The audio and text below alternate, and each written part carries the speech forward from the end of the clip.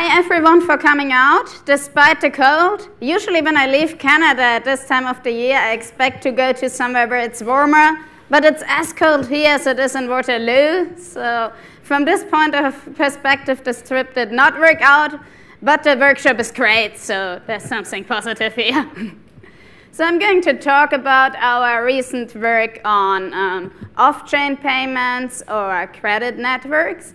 And um, I'm going to keep the motivation pretty short because you probably heard similar motivations today several times. Namely, that blockchains have the issue that they tend to be pretty slow and they have a really low throughput. So if you try to use them as global transaction networks, let's have a short look at the actual numbers. If you're looking at the number of, bit, of transactions that the Bitcoin blockchain manages at the moment, in terms of measurements, we're up to seven transactions a second. Comparing that to something like the Visa network, they manage close to 60,000 transactions a second. And maybe you can do some nice tricks to make Bitcoin a bit faster, but you see, you probably won't get around the three to four orders of magnitude that we have. So what can we do instead? What are alternative solutions to doing um, payments? Well, one idea is what in the context of the Lightning Network is called payment channels. And the idea here is that we have two users, let's call them A and B, and they agree upon a channel with a total capacity of X plus Y. Then they divide the uh, capacity in the sense that at the current state in this example, A can send up to X, let's say Bitcoins, to B.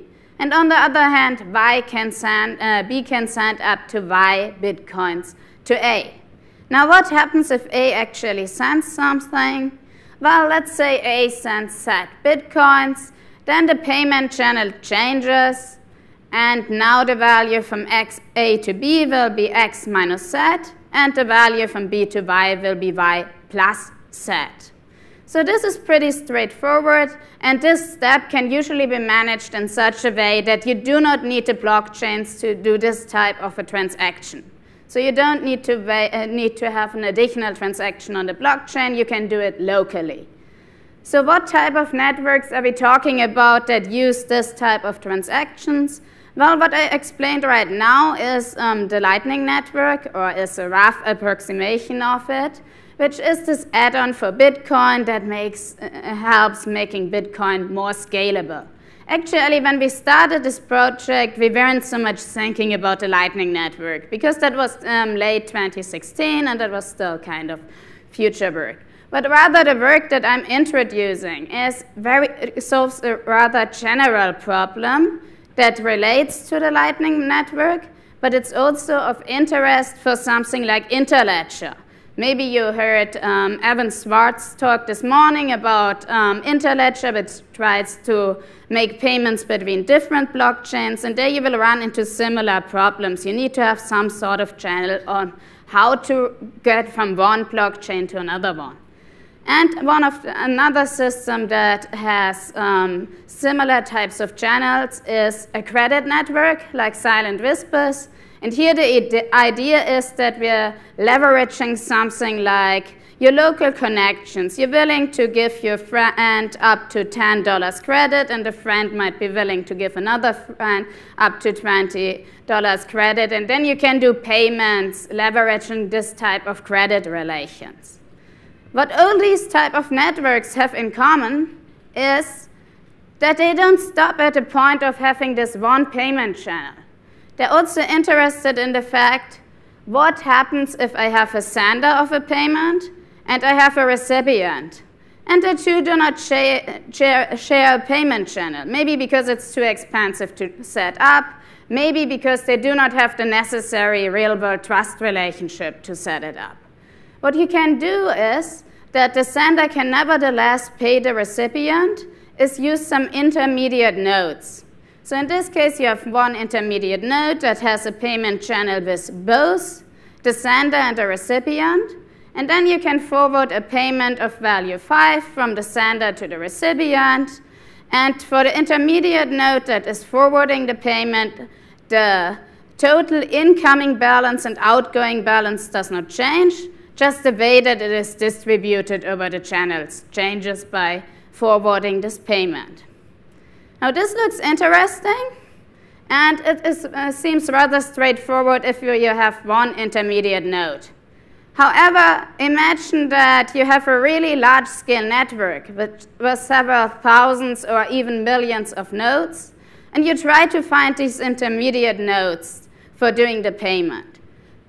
Well, this seems a bit harder. How do we find good routes for routing these type of payments in a large-scale network? So this is what this talk will be about. We will not be looking into any specific network. We will not be talking about the exact effects of payment channels in the context of Lightning or Interledger or anything else. We will be looking at a problem that all of them have in common, which is finding these multi-hop payment routes in a large-scale system. And as motivated in the last talk, if you want to do payments, you're always interested in privacy, because usually we're not really happy with having your, our complete transaction history for everyone on the web to read. So I'm going to first talk a bit about privacy goals. Then I'm going to introduce you to our routing algorithm, so our algorithm for finding these type of routes in a large-scale distributed network. We're going to do a quick privacy evaluation and an evaluation of the performance and scalability based on real-world data sets. So let's start with our privacy goals. We've got a paper, had a paper at NDSS associated with this, and there we have actual formal definitions of the privacy goals. In the interest of time, for this talk, I'm going to give you an intuition of what our privacy goals are that is not formalized. On a very high level, what you want to hide is you want to hide how much is who sending to whom. So the first concept of interest is value privacy. Value privacy essentially means if I'm an adversary who wants to break the privacy of the users and I'm not involved in a payment, then I cannot say how much was actually paid. So what was the value of the payment? The second aspect I'm interested in is sender or receiver privacy. You might also call that anonymity. So again, we have a malicious node who tries to figure out who is the sender of a payment and who is the recipient. And even if this malicious node is on the payment path, the malicious node should not be able to uniquely identify the sender and the recipient because we're sending payments in a certain direction. The node can tell, okay, the payment is coming from here and it's going from here to here, but it cannot uniquely say who is the actual sender and who will be the recipient. Now, these are our goals with regard to privacy. Let's look into our solution. How do we route these payments in such a way that we have efficiency, but also have these type of privacy guarantees? So I'll introduce Speedy Murmurs. Speedy Murmurs is our protocol for privacy preserving and scalable routing in using payment channels. And the main idea is you now have these, this network of payment channels. And to make this a bit less chaotic, I, for this graph, I just left out all the numbers and represented everything as a bidirectional link. So what are we doing? we're having this type of network topology, and the first step is use your favorite distributed spanning tree construction algorithm to come up with a spanning tree. The spanning tree is a rooted spanning tree, so we have a root node. In the next step, what we're doing is we assign coordinates to all the nodes in the network based on their position in the spanning tree. And these then facilitate routing. If that sounds a bit abstract, don't worry. I'm now giving you an example that shows you it's actually really simple. We start with the root node of the tree, and we're using vector-based coordinates, so the root gets the empty vector as a coordinate. Now what happens next is that each uh, um, remaining node in the tree will take the parent coordinate and an enumeration index. So what the root node will do, it will enumerate its children with 1 and 2. So the first coordinates here are the vector 1 and the vector 2. Then the children of the node with coordinate 1 get the coordinates 1, 1 and the coordinate 1, 2. And the last node in the tree gets the coordinate 1 to 1. So it's essentially simply enumerating a spanning tree. And based on these coordinates, you can now define a distance function between the nodes in the trees based on um, what the coordinates look like. And to be specific, the distance function is the summary of the vector lengths minus twice the common prefix length. And the common prefix length is the number of initial elements those vectors have in common. But regardless of how it looks like, the intuition of this distance is merely, this is the number of green edges I have to walk to get from one node to another in the spanning tree. And how can I now use this? Well, I now have a distance, and if I, as um, a forwarding node, get the coordinate of the recipient, I can forward it towards nodes that are closer to where I want to go. And in general, I do not only use one of those spanning trees, but I use multiple of these spanning trees. Why do I use multiple of these spanning trees?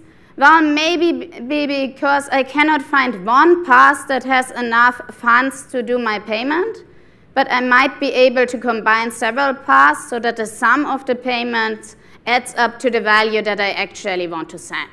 So this is why I'm doing several of these spanning trees.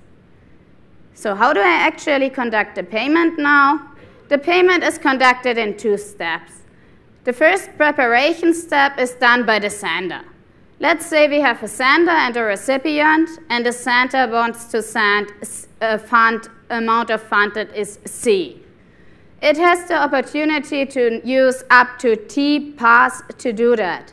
So the first thing that the sender does is divide the total value into t smaller values, and the eth value represents um, the amount that I want to send using the eth spanning tree. Now, after deciding upon this value, you can send um, the actual, you can do the sending in each of the spanning trees, and each node along the path that decides um, whom do I forward a payment to? Who is the next node on the path? Will take the following points into consideration. It will look at its neighbors, and it knows both the coordinates and the amounts of funds that are available on the payment channel. So what it will do, it will select neighbors that are closer to the receiver with regard to the node coordinate. And on the other hand, you need to be able to send at least the amount CI via the link, because otherwise um, you could not satisfy the payment using this link. And if there are several of those neighbors, you would simply choose the one that is closest to the destination. And if you look at this example, here we're having a payment of um, value 5. So this would be forwarded towards the root node because that's the only payment channel with a sufficient value. So this is the key idea of how the routing algorithm works. There are a couple of details that I excluded for the time being. Let's look into our privacy goals. Remember, we had two privacy goals. The first one was value privacy. We wanted to make sure that the transaction value C is hidden from all the adversaries that are not involved in the payment.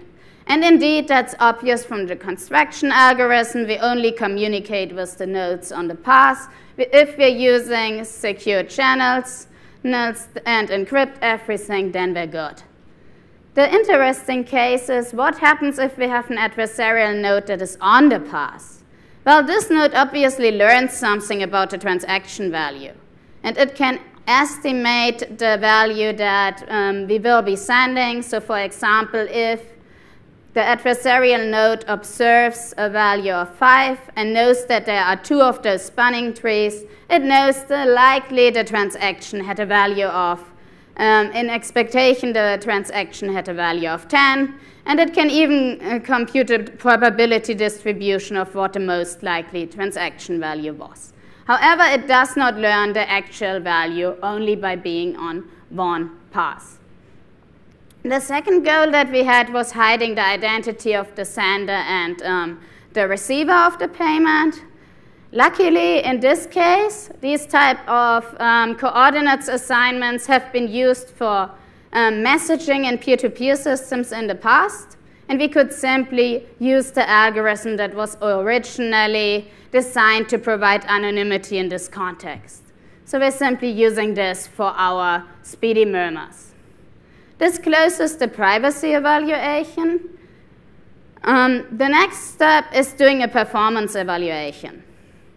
For this purpose, we crawled information from Ripple, which is a credit network, and um, got some real-world data on what these type of networks might look like. So we have a test graph with roughly 60,000 nodes. And we also have more than 300,000 transactions that we could use for testing, where we know the sender and the recipient. On this information, we then um, tested on the one hand Speedy Murmurs, which is our protocol, but also Silent Whispers, which was the state-of-the-art protocol for this type of transactions before. And last, Ford Fulkerson, because you might have realized what we're solving is essentially a flow problem. So we're using the standard traditional flow algorithm. Looking at um, the success ratio, so how many of the possible transactions could our algorithm actually find? Ford Fulkerson can generally uh, solve a flow problem if a solution exists, so we have a success ratio of 1. Our algorithm Speedy Murmurs only has about 90%, but you might remember from describing the protocol, in this first step, um, the sender has to divide the uh, payment randomly. So if the payment fails, the sender can simply divide it in a different manner and try again. And we're more than 25% better than Silent Whispers, which only had a success ratio of roughly 65%. Still, looking at this figure, we should take Ford Fulkerson, right? It's by far the most successful in solving these transactions. However, remember our goal is we want to have a scalable, large-scale transaction networks with a lot of throughput in a very short time. So let's have a short look on how many messages do we need to actually conduct such a payment.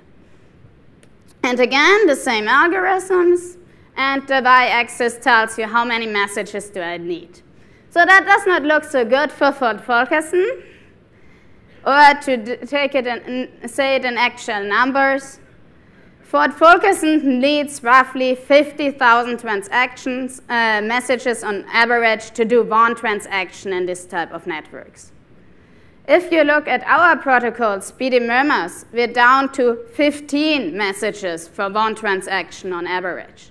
So with regard to which works better in a large-scale scalable network, obviously you would rather go with speedy murmurs. And if you're looking at the state-of-the-art silent whispers, is, it still needs like a factor for more messages than our new protocol. So to summarize, I introduced you to Speedy Murmurs, an approach for off-chain um, transactions, and I mainly focused on our novel embedding-based routing protocol. If you look in the actual paper, we also talked a bit about how do you deal with network dynamics, how do you change the coordinates if um, the payment channels change or if the participants change. And another aspect here is, of course, what if you have several concurrent transactions going on at the same time? How do you deal with the fact that you would likely have to satisfy several of them? And we figured, uh, doing our evaluation, we figured out that our protocol is effective in the sense that we had a pretty high success ratio on finding routes. It's efficient with regard to having a low number of messages. It's scalable because it scales logarithmically in the number of nodes in the network. and we achieve key privacy goals. And again, let me remind you that this was a very high level idea that is applicable to a lot of protocols, one of them being the Lightning networks. And one more point that might be interesting if you got interested into this type of works and want to test it out. We made this real-world data set that we gathered from Ripple and cleaned, as well as our simulation code, where you can easily play around with the algorithm and um, change it if you want to try something new, publicly available. And this was it from me. I'm not sure if there are time for questions, probably not. No.